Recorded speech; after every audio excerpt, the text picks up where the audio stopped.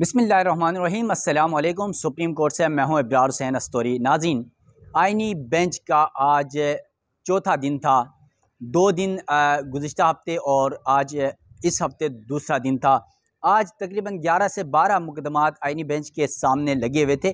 اس میں سے تقریباً اگر ان گیارہ مقدمات کی اگر میں بات کر لوں، آج تو گیارہ مقدمات، سات رکنی بینچ نے صرف پینتیس منٹ میں آج ختم کر دیے۔ اس کے بعد بینچ اٹھ کر چلا گیا۔ بڑا اہم مقدمہ تھا آرمی چیف کی توسیع کے حوالے سے۔ اس مقدمے کے درخواست گزار بھاگ گئے۔ اس کی تفصیلات بھی آپ کے سامنے رکھوں گا اور ساتھ ساتھ آج کے بینچ میں جسٹس عائشہ ملک نے دو اہم مقدمات کو سننے سے انکار کر دیا۔ اس کی وجہ کیا ہے وہ بھی بتا دوں گا اور آج سپریم کورٹ کے آئینی بینچ کے سامنے لگنے والے اہم مقدمات کی جو تفصیلات ہے وہ بھی آپ کے سامنے رکھوں گا۔ ناظرین ویڈیو کی تفصیلات پہ جانے سے پہلے آپ سے یہ ریکویسٹ ہے میرا یوٹیوب چینل ضرور سبسکرائب کیجیے گا۔ اور بیل آئیکن بھی دبانا ہے آپ نے تاکہ نئی ویڈیوز آپ تک پہنچ سکے اور ساتھ ساتھ اگر کوئی رائے دینا چاہے تو کوئی مشورہ مجھے دینا چاہے تو اس پر بھی جو ہے وہ آپ کمنٹ سیکشن پر ضرور بتائے گا۔ تو ناظرین، آج سپریم کورٹ کا جو سات رکنی آئینی بینچ ہے، وہ آج مقدمات کی سماعت کر رہا تھا اور اس بینچ کے سامنے تقریباً گیارہ مقدمات سماعت کے لیے مقرر تھے۔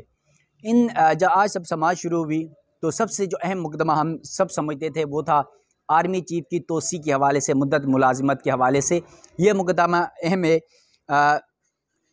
کیونکہ اس پر درخواست آئی ہوئی تھی کہ عدالتوں میں جو ہے کہ آرمی چیف کی جو ایکسٹینشن ہے، اس کے معاملے پر جو درخواست گزارا۔ آج سپریم کورٹ نے کہ آئینی بینچ نے آرمی چیف توسیع کے خلاف جو درخواست تھی وہ خارج کر دی ہے۔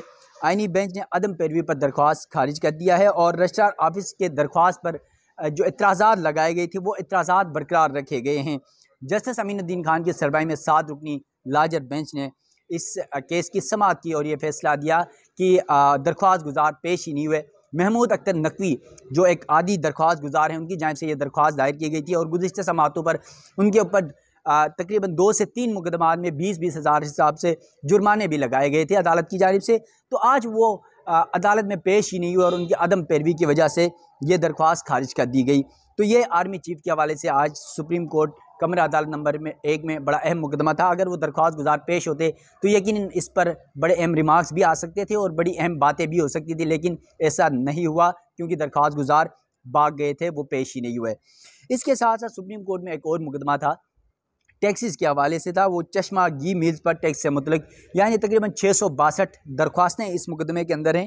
اور اس مقدمے کی سماعت کے دوران چھبیسویں آئینی ترمیم کا بھی ذکر ہوا۔ جب سماعت شروع ہوئی تو جسٹس جمال مندوخیل نے کہا، بلوچستان ہائی کورٹ میں اس کیس پر میں فیصلہ دے چکا ہوں۔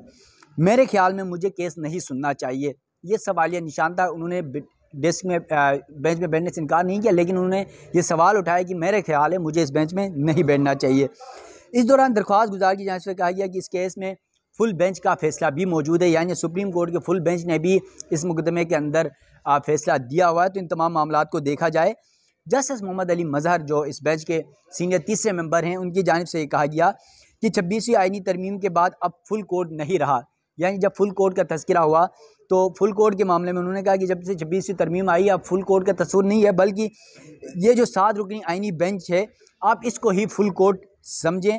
اور اب کوئی اور فل کورٹ نہیں ہے، بلکہ یہ سات رکنی آئینی بینچ ہی فل کورٹ ہے۔ فل کورٹ والی جو باتیں تھیں اب وہ ختم ہو چکی ہیں۔ اس کے ساتھ ساتھ آج سپریم کورٹ میں جب دیگر مقدمات کی سماعت چل رہی تھی، تو اس دوران ججز کی جانب سے مختلف مقدمات پر ریمارکس بھی دیے گئے۔ اور ایک اور مقدمہ تھا سپریم کورٹ میں یعنی ایک وقوع پہ دو ایف آئی آرز کے حوالے سے۔ ایک وقوع پر دو ایف آئی آرز کے اندراج سے متعلق جب کیس کی سماعت ہوئی، تو عدالت نے ناقابل سماعت قرار دے کر اسے خارج کر دیا اور وکیل کی سزنش بھی ہوئی، کیونکہ درخواست گزار بھی ایک وکیل ہی ہے۔ تو جسٹس جمال مندوخیل نے وکیل سے یہ استفسار کیا، جو وکیل گزار درخواست گزار ہیں وسیم احمد خان۔ ان سے کہا کہ سپریم کورٹ میں ایسے کیسز کی وجہ سے زیر التوا مقدمات کی تعداد ساٹھ ہزار سے زائد ہو چکی ہے۔ ہمیں ساٹھ ہزار زیر التوا مقدمات بار بار یاد کرائے جاتے ہیں۔ کیوں نہ آپ کی درخواست جرمانے کے ساتھ خارج کریں۔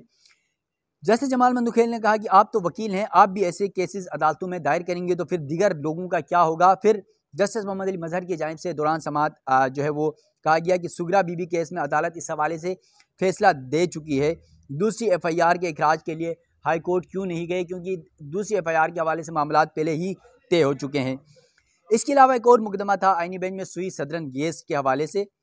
عدالت کی جانب سے جو سوئی صدرن گیس اور ہاؤسنگ سوسائٹی سے متعلق یہ کیس تھا۔ اس کیس کے اندر آئینی سوال نہیں تھا، تو اس بنیاد پر دوبارہ ریگولر بینچ کو بھجوا دیا گیا ہے۔ سوئی صدرن گیس سے بدترفی کے خلاف درخواست واپس بھجوائی گئی۔ نجی ہاؤسنگ سوسائٹی میں پلاٹ الاٹمنٹ سے متعلق درخواست بھی ریگولر بینچ کو بھیج دی گئی۔ جسٹس محمد علی مظہر کی جانب سے یہ کہا گیا کہ ان کیسز کا آئینی بینچ سے کیا تعلق ہے؟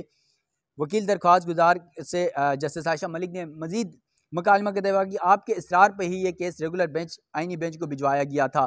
ان کیسز میں آئینی مسئلہ ہے ہی نہیں، تو اس کیس کے دوران عدالت کی جانب سے یہ بھی کہا، یہ خاص طور پہ جسٹس عائشہ ملک نے کہا کہ اس بینچ کا میں خود حصہ رہی ہوں جس کا فیصلہ سنایا گیا اور پھر جسٹس منصور علی شاہ کی یہ ججمنٹ ہے۔ آپ اگلی سماعت پر اس ججمنٹ کو بھی لے کر آئیں۔ اس کے بعد پھر ایک اور مقدمہ تھا، زیر زمین پر ٹیکس کے نفاذ سے متعلق خود نوٹس کیس اس کیس میں جسٹس عائشہ ملک نے سننے سے انکار کیا۔ انہوں نے کہا کہ وہ ایک سو جو از خود نوٹس کیس ہیں، مقدمات ہیں، دو مقدمات ہیں آج۔ جس پر عائشہ ملک نے انکار کیا سننے سے جو از خود نوٹس سے متعلق ایک یہ مقدمہ تھا کہ زیر زمین پانی پر ٹیکس سے متعلق از خود نوٹس کیس کو انہوں نے سننے سے انکار کیا۔ تاہم، دوران سماعت تمام صوبوں کے جو لا افسران ہیں وہ پیش ہوئے اور ان کی جانب سے عدالت میں یہ بتایا گیا کہ پنجاب اور خیبر پختونخوا نے زیر زمین پانی کے حوالے سے قانون سازی کر لی ہے۔ جیسے محمد علی مظہر نے کہا کہ باقی صوبے بھی قانون سازی کر لیں۔ جب قانون نہیں بنایا جائے گا تو مقدمات بیس بیس سال تک زیر التوا رہیں گے اور ایسے ہی عدالتوں کے چکر لگاتے رہیں گے۔ جیسے جمال مندوخیل نے کہا آپ کام نہیں کیا جاتا، پھر کہتے ہیں کہ کام جو ہے نا، عدالتیں کام نہیں کرتی خود اپنا کام کوئی نہیں کرتا اور پھر ہر ہر معاملہ عدالتوں کے اوپر ڈالا جاتا ہے اور پھر عدالت نے کیس کی سماعت غیر مہینہ مدت تک ملتوی کرتے ہوئے جو دیگر صوبے ہیں، ان سے اور وفاق سے رپورٹ طلب کر لیے ہے، قانون سازی کروانے کے بعد جو جس طرح پنجاب اور خیبر پختونخوا نے کی ہے، اس طرح سے اپنی قانون سازی کر کے رپورٹ سپریم کورٹ میں جمع کرا دیں۔ اس کے علاوہ سپریم کورٹ کے آئینی بینچ نے اعلیٰ عدلیہ کے ججز کی پارلیمنٹ میں تقریروں کے خلاف درخواست بھی خارج کر دی ہے۔ عدالت نے درخواست گزار محمود اختر نقوی کی عدم پیشی کے باعث یہ درخواست خارج کر دی ہے۔ اور آئینی بینچ نے درخواست پر جو رجسٹرار آفس کے اعتراضات تھے وہ برقرار رکھے ہیں۔ جسٹس امین الدین خان کی سربراہی میں سات رکنی آئینی بینچ اس مقدمے کی سماعت کر رہا تھا۔ اس کے علاوہ سپریم کورٹ کے آئینی بینچ کے سامنے بول نیوز کے ملازمین کی تنخواہوں کے معاملے پر کیس تھا اور یہ بھی از خود نوٹس تھا۔ آئینی بینچ کے سامنے تو آئینی بینچ کی جو ممبر ہیں جسٹس عائشہ ملک، انہوں نے اس کیس کو بھی سننے سے انکار کیا کیونکہ پہلے جو پانی سے مطلق کیس تھا اور ایک یہ بول نیوز سے مطلق یہ دو کیسز جو از خود نوٹس کے تھے، دونوں کیسز جسٹس عائشہ ملک نے سننے سے انکار کیا۔ ماضی میں تھوڑی دیر پہلے اوپر ہمارے پریس روم میں گپ شپ ہو رہی تھی کہ چیف جسٹس افریدی بھی ماضی میں بڑے بڑے مقدمات میں اس طرح ریکیوز کر کے چلے جاتے تھے اور اب عائشہ ملک نے بھی یہی طریقہ اپنایا ہوا ہے کہ ایک جو از خود نوٹس کا کیس ہے وہ نہیں سنتی۔ آج دو مقدمات از خود نوٹس کے لگے ہوئے تھے آئینی بینچ کے سامنے۔ دونوں مقدمات میں جسٹس عائشہ ملک نے سننے سے انکار کیا۔ اس کے بعد جو بول نیوز کے خلاف جو کیس تھا، تنخواہوں کا معاملہ تھا، یہ آئینی بینچ ٹوٹ گیا اور پھر بول نیوز ملازمین کے حوالے سے عدالت نے کہا کہ بول نیوز ملازمین تنخواہوں کی ادائیگی کے لیے نیا آئینی بینچ تشکیل دیا جائے گا۔ جسٹس امین الدین خان نے کہا کہ معزز جج صاحبہ نے آج خود نوٹس سننے سے انکار کیا ہے۔ آج عدالتی کارروائی کو ملتوی کر دیتے ہیں۔ تنخواہوں کا کیس نئے آئینی بینچ کے سامنے سماعت کے لیے مقرر کر دیا جائے گا۔ تو یہ سپریم کورٹ میں آج اہم مقدمات کی سماعت تھی۔ یقیناً آئینی بینچ جس میں سربراہی کر رہے ہیں جسٹس امین الدین خان اور پھر جسٹس جمال مندوخیل اس بینچ کا حصہ ہیں۔ Justice Muhammad Ali Mazhar, justice Ayesha Malik, justice Hasan Azhar Rizvi justice Musarrat Hilali justice Naeem Akhtar Afghan, یہ سات ججز سماعت کر رہے ہیں۔ اور آج ایک جو ٹیکس کا معاملہ تھا، لیویز ٹیکس کے مطلب وہ تقریباً چھ سو باسٹھ درخواستیں تھیں۔ وہ کیس بھی سماعت کے لیے لگا ہوا تھا۔ اس پر سننے کے بعد عدالت نے ملتوی کر دیے، نوٹسز کر دیے ہیں، کیونکہ جو آئینی سوالات ہیں، کچھ درخواست گزاروں کی جانب سے، تمام معاملات کو عدالت کی جانب سے کہا گیا کہ ہم اگلی سماعت پر تفصیلی طور پر تمام مقدمات سنیں گے۔ اور پھر آج آئینی بینچ کے سربراہ جسٹس امین الدین خان کے سامنے ایک وکیل نے کہا کہ یہ کیس جلد لگایا جائے۔ تو اس پر جسٹس امین الدین خان نے کہا کہ اب بھی ہم نوٹسز کر رہے ہیں اور جب یہ کیس باقاعدہ طور پر لگے گا تو ڈے بائی ڈے ہم سنیں گے یعنی روزانہ کی بنیاد پر ان مقدمات کو سنیں گے جو آئینی بینچز کے سامنے مقدمات فکس کیے جا رہے ہیں۔ تو ایک یہ بھی خبر آ رہی ہے سپریم کورٹ سے کہ اب جو گزشتہ چند دن پہلے میں نے ویڈیو دو تین ویڈیوز میں یہ تذکرہ کیا تھا کہ آئینی بینچ آج بھی جس طرح اڑتیس منٹ میں یا پینتیس سے اڑتیس منٹ میں بینچ اٹھ کر چلا گیا تھا، تمام گیارہ سے بارہ مقدمات ختم ہو گئے تھے۔ اس کے بعد جو دیگر یاد ہوگا آپ کو جب پہلے دو دن سماعتیں لگی تھی تقریباً ایک سو کے قریب کیسز ڈی لسٹ ہوئے تھے، جو عام روٹین کے مقدمات تھے۔ تو اس پر میں نے یہ کہا بھی تھا کہ عدالت میں جس طرح اسپیشل بینچ تشکیل دیا جاتا ہے یا جس طرح ہائی کورٹ میں ڈویژنل بینچ ہوتا ہے دوپہر کے بعد بارہ بج کے بعد، تو اس طرح سپریم کورٹ میں یہ طریقہ بھی اپنایا جا سکتا ہے کہ آئینی بینچ کے جو مقدمات ہیں، وہ بارہ بج کے بعد سنے جائیں۔ تو اب یہ خبر بھی آ رہی ہے کہ سپریم کورٹ میں نیکسٹ ویک سے آئینی بینچ کے حوالے سے یہ ایک نئی تھیوری سامنے آ رہی ہے کہ بارہ بج کے بعد آئینی بینچ بیٹھے گا۔ بارہ بج سے پہلے جو ججز ہیں، دیگر مقدمات جو ریگولر بینچز میں لگتے ہیں یا ریگولر بینچز میں ججز سنتے ہیں، وہ بیٹھ کے پہلے ریگولر کیسز سنیں گے، عام مسائل کے سے متعلق جو کیسز ہیں وہ سنیں گے۔ پھر جو آئینی تشریح سے متعلق مقدمات ہوں گے، اس کے لیے بینچ بارہ بج کے بعد ہوگا۔